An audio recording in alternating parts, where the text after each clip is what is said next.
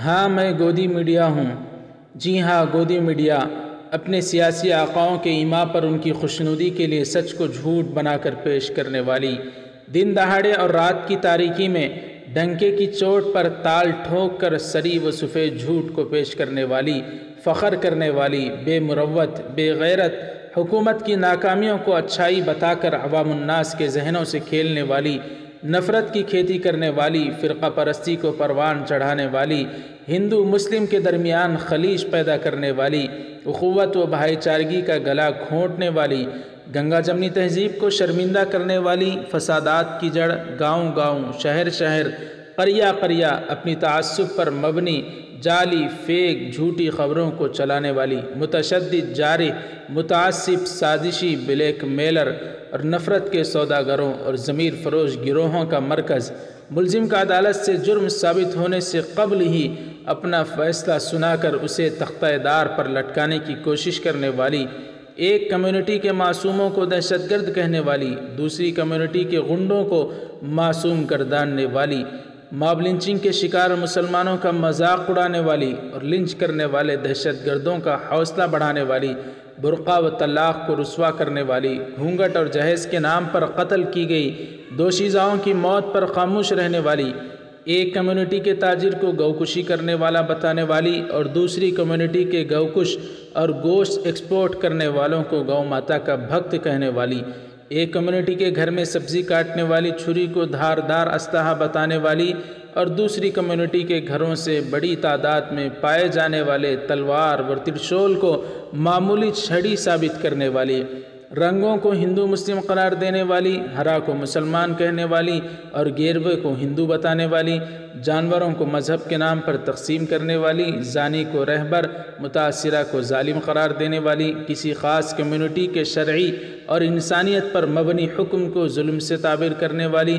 और किसी कम्युनिटी के जुल्म पर मबनी कानून और रस्म रिवाज को हमदर्दी गर्दानने वाली, सहाफ़ती असूलों का कत्ल करने वाली, सहाफ़ती अखलाक का बेड़ा गर्क करने वाली, कातिल, आमिर और राहजन को मसीहा साबित करने वाली और मसीहा को ालिम लुटेरा कहने वाली, सरहदों की हिफाजत पर मामूर, फ़ौजियों की शहादत पर उनका मज़ाक उड़ाने वाली, सियासी आकाओं की खुशनुदी के लिए किसी भी हद तक गिर जाने वाली, वतन के लिए सब कुछ कुर्बान कर देने वाले महब वतन की औलादों को दहशत गर्द बताकर जेलों की काल कोठरियों में डलवाने वाली और अंग्रेज़ ालिम से माफ़ीनामा हासिल करने वाले बुजदिल को वीर का लक़ब देकर उसकी नस्ल को महब वतन साबित करने वाली दहशत गर्दी के शिकार मुसलमानों को ही दहशत गर्दी में गिरफ़्तार कराने वाली और जिन्होंने दहशत मचाई, मासूमों के लहू से होली खेली, उनको बचाने के लिए तहरीक छेड़ने वाली। निज़ामुद्दीन मरकज़ में मौजूद अफराद को छिपे और किसी मंदिर में मौजूद श्रद्धालुओं को फंसे हुए बताने वाली, निज़ामुद्दीन को कोरोना का मरकज़ बताने वाली, नमस्ते ट्रंप रैली पूरी रथ यात्रा की भीड़ को नज़रअंदाज करने वाली, मुस्लिम लीडरान की तकरीर को इश्तियाल अंगेज़ और कम्युनिटी मुखालिफ बताने वाली वहीं बोली का जवाब गोली से और देश के गद्दारों को गोली से मारो सालों को जैसे इश्तियाल अंगेज़ नारे लगाने वालों को, इश्तियाल अंगेज़ी को शीरी तस्वुर करते हुए उनके तलवे चाटने वाली बेशरम, ढीठ, आबरू बाख्ता, बेज़मीर, बेहया अखलाक व किरदार से आरी, सरकश गोदी मीडिया हूँ। जी हाँ वही गोदी मीडिया मुझे वैसे ही नहीं कहा गया है। गोदी मीडिया मुझे वैसे ही नहीं कहा गया है, बल्कि हर दौर और हर ज़माने में सहाफ़त में कुछ अफराद ऐसे थे जो बादशाहों, वज़रा और उमरा की यहाँ में हाँ मिलाया करते थे। उनके गलत को सही, झूठ को सच, जुल्म को हमदर्दी बताकर अवाम के सामने पेश करते थे। इस वक्त मीडिया नहीं था, वो चमचों का दौर था। ज़माने ने तरक्की की, डिजिटल दौर आया, चमचे भी डिजिटल हो गए। जब जिस पार्टी की हुकूमत बनी, हालात के अतबार से अपना किबला तब्दील कर लिया। कभी बड़ी तादाद में गोदी मीडिया में अफराज शामिल रहे, कभी बाज़ ज़मीर की आवाज़ पर ताइब हुए। ये सिलसिला चलता रहा, लेकिन मजमू तौर पर हुकूमत की गलत पॉलिसियों पर नकद के बजाय, उसे आवाम की सहूलियात बनाकर पेश करने का रुझान हिंदुस्तान में 2013 के बाद से ज़ोर पकड़ा। गोदी मीडिया के ट्रायल की वजह से ही 2013 में हुकूमत तब्दील हुई। आवाम को बढ़ती महँगाई, रोज़ी रोज़गार का वादा करा कर लुभाया गया। हिंदू मुस्लिम करके माहौल सिलगाया गया। पाकिस्तान में जश्न मनाने की बात कहकर अक्सरियतों के जहन से खेला गया। लेकिन इंतखब जीतने के बाद के अहवाल से सभी वाकिफ़ हैं। कि आज महँगाई का क्या आलम और रोज़ी रोज़गार को कैसे आवाम तरस रहे हैं। लेकिन हम गोदी मीडिया वालों को इससे कोई सरोकार नहीं।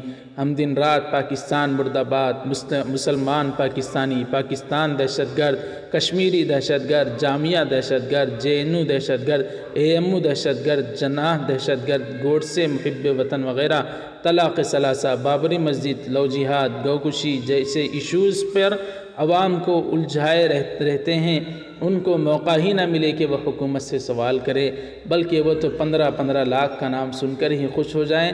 बीस हज़ार करोड़ का हिंसा गिनने में ही अपना वक्त सर्फ करें।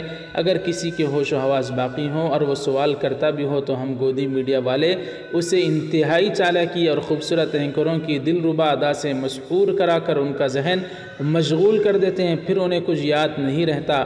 असल मसाइल से आवाम को दूर रखना हमारा काम है। नान इशू को इशू बनाकर पेश करना हमारा मिशन है।